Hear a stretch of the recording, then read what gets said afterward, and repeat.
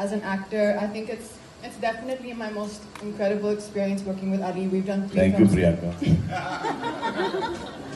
We've done three films together, but um, I can honestly say that this film has been the best experience so far.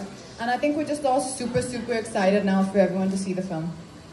You know, before I this, You know, it's not intentional, but now Yeah. that you say it, I'm thinking about it, and yeah, I think you need. Like that, so you're commenting on everything. I think. I think you need to maybe up your Insta ins- game. huh? I think you need to up your Insta game. I get into trouble when I up my Instagram.